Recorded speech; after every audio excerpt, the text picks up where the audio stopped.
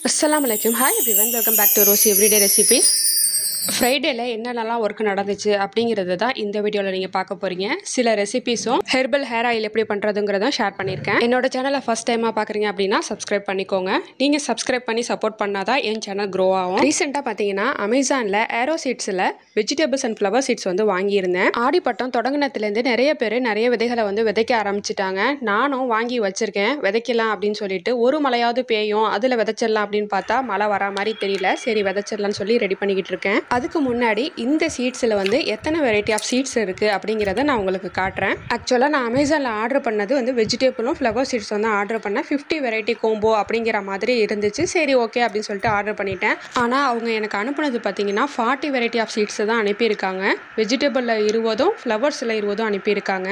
நான் வந்து ஆர்டர் பண்ணி அதுக்கு மணி வந்து பே பண்ணது வந்து ஃபிஃப்டி வெரைட்டிஸ்க்கு வந்து நான் பே பண்ணியிருந்தேன். டுவெண்ட்டி ஃபைவ் டுவெண்ட்டி ஃபைவ் அப்படிங்கிற மாதிரி.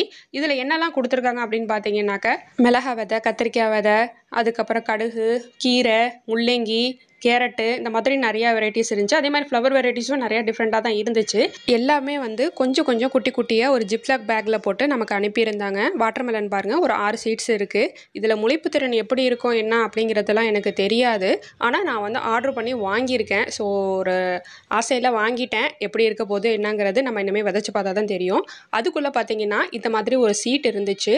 அந்த சீட்டில் வந்து எந்த மாதத்தில் என்ன மாதிரி விதைகள்லாம் விதைக்கலாம். கேரட்லாம் பார்த்தீங்கன்னா விதை வந்து நமக்கு அனுப்பியிருந்தாலும் அதை டிசம்பர் மாதத்தில் போட்டால் தான் நல்லா வரும் அப்படிங்கிற மாதிரி அதில் இருந்துச்சு. அதை மாதிரி ஒரு நாற்பது வெரைட்டியான சீட்ஸ் நமக்கு அனுப்பியிருக்காங்கல்ல எந்தெந்த மாதத்தில் என்ன மாதிரி சீட்ஸ் போடலாம் அப்படிங்கிற மாதிரிலாம் அதில் போட்டிருந்துச்சு.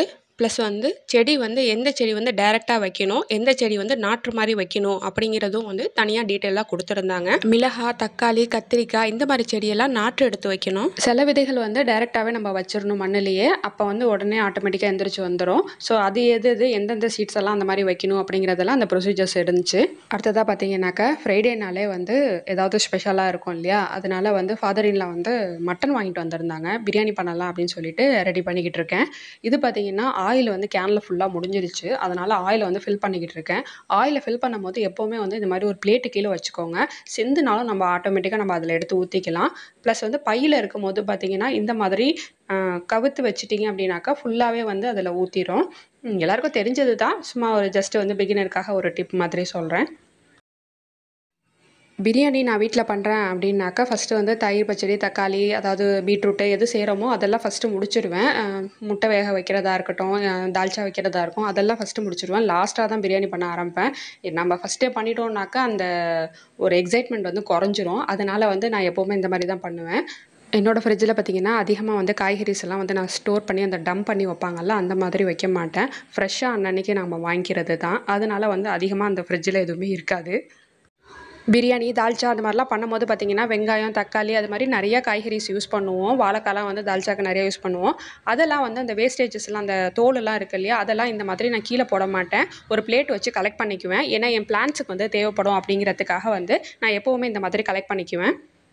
இப்போல்லாம் பார்த்தீங்கன்னா தயிர் பச்சடிக்கு வந்து நம்ம வெங்காயம் வந்து பெருசு பெருசாக நீட்டு நீட்டமாக கட் பண்ணுவோம் இல்லையா? அதை விட இந்த குட்டி குட்டியாக கட் பண்ணி போடும் போது வந்து அந்த டேஸ்ட் வந்து ரொம்பவே சூப்பராக இருக்குது நான் இப்போல்லாம் அதிகமாக வந்து இந்த மாதிரி குட்டி குட்டியாக கட் பண்ணி தான் போட்டுக்கிறது. வெங்காயமும் பார்த்தீங்கன்னா அதிகமாக செல்ல மாட்டேங்குது. ரொம்ப கம்மியான குவான்டிட்டிலேயே சூப்பராக செய்கிற மாதிரி இருக்குது யாராவது ட்ரை பண்ணாமல் இருந்தீங்கன்னா இதை ட்ரை பண்ணி பாருங்கள்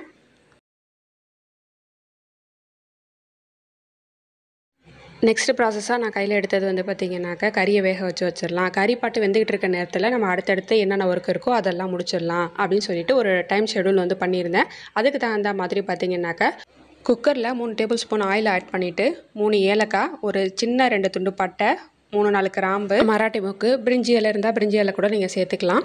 ரெண்டு பச்சை மிளகா வந்து நீட்ட வாக்கில் கீறி அதையும் சேர்த்துக்கிறேன்.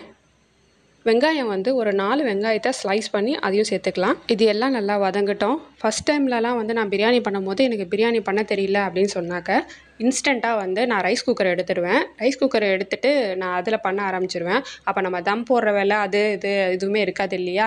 ஈஸியாக போட்டு பட்டனை ஆன் பண்ணாக்கா ஆட்டோமேட்டிக்காக குக் ஆகி கொடுத்துரும். அந்த மாதிரி தான் நான் பழகிக்கிட்டேன் ஃபஸ்ட்டு பிரியாணி பண்ண தெரியாமல் முழிச்சிட்டு இருக்கும் போதெல்லாம் அந்த ரைஸ் குக்கர் வந்து எனக்கு ரொம்பவே கை கொடுத்துச்சு. நல்ல பேர் வாங்கிடுவேன் கடைசியில். பழகினதுக்கு அப்புறம் அது ஈஸியாகிடுச்சு இந்தந்த ப்ராசஸ் இப்படி இப்படி தான் பண்ணணும் அப்படிங்கிறதெல்லாம் தெரிய ஆரம்பிச்சிருச்சு. பிகினராக இருந்தீங்க அப்படின்னாக்கா இந்த மாதிரி டிப்ஸ் எல்லாம் ஃபாலோ பண்ணிங்கன்னா ஈஸியாக நீங்கள் இன்னும் நல்ல பேர் வாங்கலாம். ஒரு நாலு தக்காளி எடுத்து ஸ்லைஸ் பண்ணிவிட்டு அதையும் சேர்த்து நல்லா வதக்கிக்கலாம். தக்காளி சேர்த்து நான் வதக்கிட்டே இருக்க போதும் பார்த்திங்கன்னா மாமி வந்துட்டாங்க. நான் செஞ்சு தரமா அப்படின்னு சொன்னாங்க. சரிங்க மாமி அப்படின்னு சொல்லிட்டேன். மூணு டேபிள் ஸ்பூன் இஞ்சி பூண்டு ரெண்டு டீஸ்பூன் மிளகாத்தூள் சேர்த்துருக்காங்க. ஏன்னா இந்த மிளகா வந்து கொஞ்சம் காரமாக இருக்கும். அதனால் வந்து ரெண்டு டீஸ்பூன் சேர்த்துருக்காங்க மாமி. தேவையான அளவு உப்பு. இது எல்லாத்தையும் சேர்த்து நல்லா மிக்ஸ் பண்ணிக்கோங்க. மிக்ஸ் பண்ணதுக்கப்புறம் நம்ம வாஷ் பண்ணி வச்சுருந்தா கறியை சேர்த்து நல்லா மிக்ஸ் பண்ணிக்கலாம் மறுபடியும். மிளகாத்தூள் உப்புத்தூள் எல்லாம் தாளித்ததுக்கு அப்புறம் தான் கறியெல்லாம் சேர்த்ததுக்கு அப்புறமா தயிர் சேருங்க. தயிர் பார்த்திங்கனாக்கா ஒரு கா டம்ளராவது சேர்க்கணும். அப்போ தான் வந்து டேஸ்ட்டு நல்லாயிருக்கும் மல்லி புதினா எல்லாத்தையும் சேர்த்துட்டு நல்லா மிக்ஸ் பண்ணிக்கலாம். மிக்ஸ் பண்ணிவிட்டு வந்து ஒரு அஞ்சாறு விசில் விட்டு எடுத்தோம்னா கறி வந்து நல்லா சாஃப்டாக குக் ஆயிரும் நமக்கு. மாமி குக்கரை மூடி ஒரு அஞ்சு விசில் வச்சுட்டாங்க. நான் அடுத்ததாக வந்து கேரட் ஹல்வா பண்ணலாம் அப்படின்னு சொல்லிட்டு கேரட்டை துருவிக்கிட்டு இருக்கேன். இந்த கேரட் ஹல்வாவுக்கு பார்த்தீங்கன்னா ஒரு சீக்ரெட் இன்க்ரீடியன்ட் இருக்குது அதை சேர்த்திங்க அப்படின்னா உங்கள் கேரட் ஹல்வா வேறு லெவல் டேஸ்ட்டில் இருக்கும். உங்களுக்கு துருவ பிடிக்கல அப்படின்னாக்கா சின்ன சின்ன பீசஸாக கட் பண்ணிவிட்டு மிக்ஸி ஜாரில் ஒரு சுற்று சுற்றினீங்கனாக்கா நல்லா மையாகி வந்துடும் அப்படி கூட நீங்கள் சேர்த்து நீங்கள் கேரட் ஹல்வா பண்ணலாம். Sweet carrot carrot halwa carrot pachadi நீங்கள் எப்படி வேணால் பேர் வச்சுக்கோங்க. ஒரு பேனில் வந்து ஒரு ரெண்டு மூணு டேபிள் ஸ்பூன் வந்து நெய் சேர்த்துக்கிட்டேன். அதுக்கப்புறம் ஒரு ரெண்டு ஏலக்காவை பிச்சு போட்டு இந்த மாதிரி சேர்த்துக்கிறேன். ஏலக்காய் வாசம் பிடிக்காதவங்க வேண்டாம் அவாய்ட் பண்ணிக்கோங்க. கேரட்டு பீட்ரூட்லாம் துருவி சேர்க்கும் போது ஒரு நல்ல டெக்ஸ்டர் கிடைக்கும் சாப்பிடும் போது அதுக்காக தான் நான் துருவி சேர்த்துக்கிட்டேன். உங்களுக்கு பிடிக்கலன்னா மிக்சியில் கூட அரைச்சிக்கோங்க. கேரட்டு பீட்ரூட் அது மாதிரிலாம் வந்து ஸ்வீட் செய்கிறோம் அப்படின்னாக்க அதை வேக வைக்கிறதுக்கு தண்ணி யூஸ் பண்ணாதீங்க. நல்ல திக்கு பால் சேர்த்து பால்லேயே வேக விடுங்க. அந்த டேஸ்ட் வந்து நல்லாயிருக்கும் எப்போவுமே இனிப்பு செய்கிறோம் அப்படின்னாக்கா அதில் பிஞ்ச் ஆஃப் சால்ட்டு சேர்க்கணும். அதுக்காக சேர்த்துக்கிறேன். சீக்ரெட் இன்க்ரீடியன்ட் அப்படின்னு சொன்னேன் இல்லையா? அது என்ன அப்படின்னு பார்த்தீங்கன்னா கண்டென்ஸ்டு மில்க்கு தான். இந்த மாதிரி ஸ்வீட்ஸ் எல்லாம் செய்கிறோம் அப்படின்னா கண்டென்ஸ் மில்க் யூஸ் பண்ணி நம்ம ஸ்வீட் பண்ணும்போது ரொம்பவே டேஸ்ட்டாக இருக்கும். அது கிடைக்கல அப்படின்னாக்கா கோயான்னு சொல்லிட்டு கடைகளில் வந்து ஸ்வீட் கடைகளில் இருக்கும். அதை வாங்கி ஒரு துண்டு சேர்த்திங்க அப்படின்னாலும் அந்த டேஸ்ட்டு நல்லாயிருக்கும் இது ரெண்டுமே இல்லை. நம்ம என்ன பண்ணலாம் இன்ஸ்டண்ட்டாக அப்படின்னு பார்த்தீங்கன்னா ரெண்டு டேபிள் ஸ்பூன் பால் பவுட்ரு சேர்த்து செய்யுங்க. கண்டென்ஸ்டு மில்க்கு கோயாலாம் சேர்க்கும் போது என்ன டேஸ்ட்டு கிடைக்குமோ அதே இது வந்து இந்த பால் பவுடர்லேயும் கிடைக்கும். ட்ரை பண்ணி பாருங்கள் நான் வந்து பால் பவுடர் வந்து டைரெக்டாகவே சேர்த்துட்டேன் உங்கள்கிட்ட காட்டணும் அப்படிங்கிறதுக்காக. அப்படி இல்லைன்னாக்கா பாலில் கொஞ்சமாக கலந்துட்டு பால் பவுடரை அதோட சேர்த்து நல்லா கொதிக்க விட்டுருங்க. இப்போ தேவையான அளவு சர்க்கரை சேர்த்துக்கலாம். சர்க்கரை எல்லாம் கரைஞ்சி மறுபடியும் தண்ணி மாதிரி ஆகும். மறுபடியும் நல்லா கொதிக்க விட்டு நல்லா சுண்ட விட்டு ஒரு ரெண்டு டேபிள் ஸ்பூன் வந்து நெய் ஆட் பண்ணி மறுபடியும் முந்திரி திராட்சை எல்லாத்தையும் தாளித்து அதில் எடுத்து கொட்டிட்டீங்க அப்படின்னாக்கா சூப்பரான கேரட் ஹல்வா ரெடி ஆகிடும் இந்த இதை ட்ரை பண்ணி பாருங்கள் ரொம்பவே சூப்பராக இருக்கும். கறி வந்து நல்லா வெந்துருச்சு. இப்போ வந்து அதை ரைஸ் குக்கருக்கு நான் மாற்ற போகிறேன் அதுக்கு கீழே பார்த்தீங்கன்னா இந்த மாதிரி ஒரு பிளேட்டு போட்டுக்கிறேன். ரைஸ் குக்கர் உள்ளாரே இந்த மாதிரி வரும். அதுக்கு மேலே பார்த்தீங்கன்னா நம்ம வேக வச்ச கறியை போட்டுட்டு குக்கரில் வந்து அந்த கிரேவி இருக்கும் இல்லையா அதை வந்து ஃபஸ்ட்டு மெஷர் பண்ணி சேர்த்துக்கோங்க. அதுக்கப்புறம் மேற்கொண்டு எவ்வளோ தண்ணி சேர்க்கணுமோ அந்த அளவுக்கு மட்டும்தான் தண்ணி சேர்க்கணும். நான் வந்து பிரியாணி அரிசி இருக்கிறதுனால ஒன் இஸ்டு டூ அப்படிங்கிற ரேஷியோவில் வந்து வச்சுருக்கேன். நீங்கள் பாஸ்மதி எடுத்திங்கன்னா ஒன்றுக்கு ஒன்றரை கப்பு வச்சுக்கோங்க. கரெக்டாக இருக்கும்.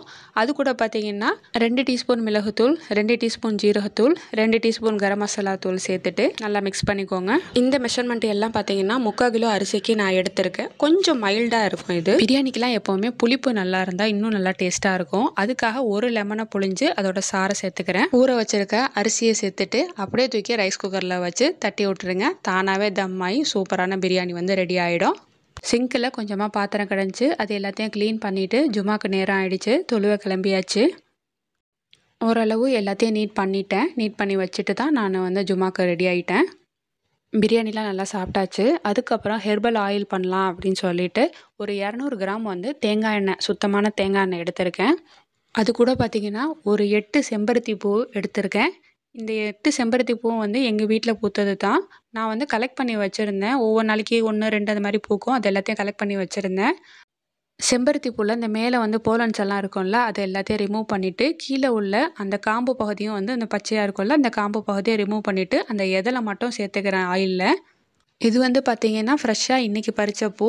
அதை வந்து நான் டைரெக்டாகவே சேர்த்துக்கிறேன். இல்லை நீங்கள் கலெக்ட் பண்ணி வச்சுக்கிறீங்க அப்படின்னாக்கா வெயிலில் வந்து உலர்த்தாதீங்க.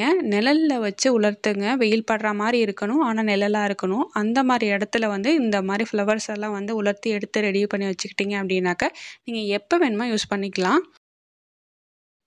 இது கூட ஒரு எட்டு செம்பருத்தி இலை வந்து சேர்த்துக்கிறேன். இலை வந்து கொஞ்சம் பெருசாக இருந்ததுனால எட்டு இது சேர்த்துக்கிறேன். இது எல்லாமே வந்து நல்லா க்ளீன்டாக இருக்கணும். அதில் பூச்சிலாம் இல்லாமல் பார்த்துக்கோங்க ஃபங்கஸ்லாம் இருந்தாக்கா சேர்க்காதீங்க மாவு பூச்சிலாம் சில நேரத்துக்கு இருக்கும் செம்பருத்தியில் அந்த மாதிரி இருந்தால் சேர்க்க வேணாம். அது கூட பார்த்தீங்கன்னா ஒரு கைப்பிடி அளவு கருவேப்பிலை சேர்த்துக்கிறேன். கருவேப்பிலை நீங்கள் எவ்வளோ வேணாலும் சேர்த்துக்கலாம் ஒன்றும் செய்யாது. ஆயில் வந்து மீடியம் ஃப்ளேமில் வச்சுருக்கேன். அது பாட்டு லேசாக கொதிச்சுக்கிட்டு இருக்குது மருதாணி எல்லாம் பார்த்தீங்கன்னா ஒரு பதினஞ்சு கிட்டக்க இருக்கும். அந்த மாதிரி சேர்த்துருக்கேன். ஏன்னா மருதாணி வந்து குளிர்ச்சி இல்லையா? அதனால் வந்து நான் பதினஞ்சு கிட்ட தான் சேர்த்துருக்கேன். சைனஸ் ப்ராப்ளம் எனக்கு இருக்கிறதுனால வந்து சளி பிடிக்கும் அப்படிங்கிறதுனால கம்மியாக சேர்த்துருக்கேன்.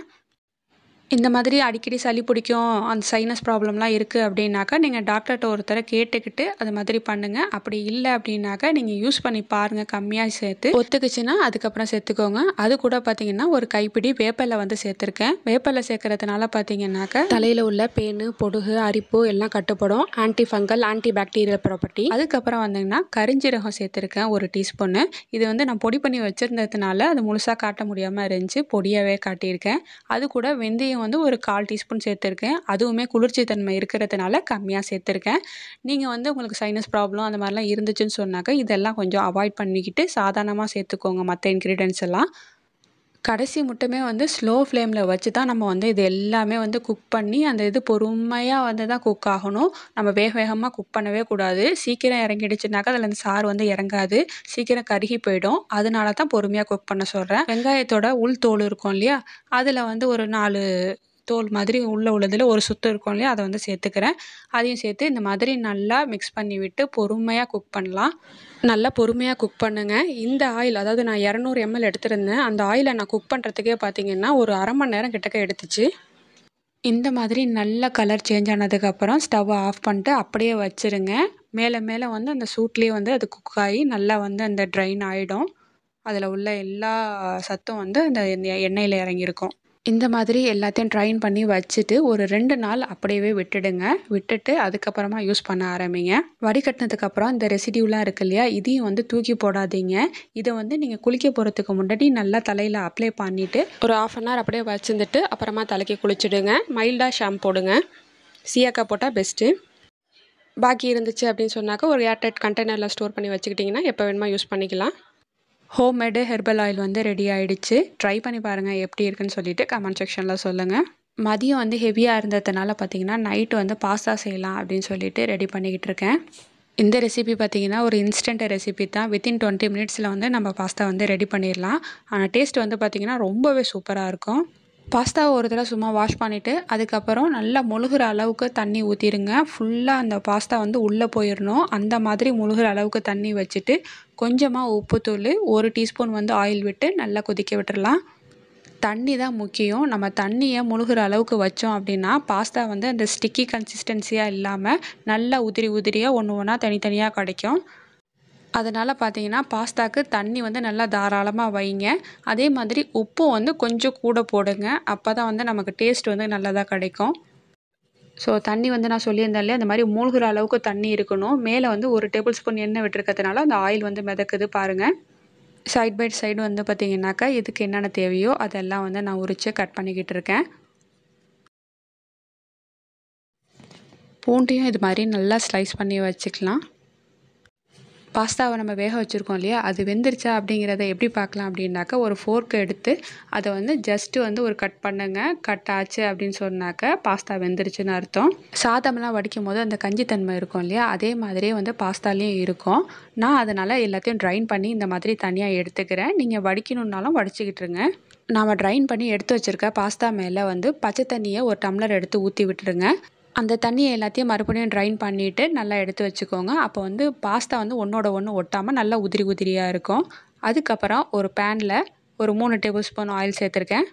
ஒரு டீஸ்பூன் ஜீரகம் சேர்த்துக்கிறேன். முழு ஜீரகம் சேர்த்துருக்கேன்.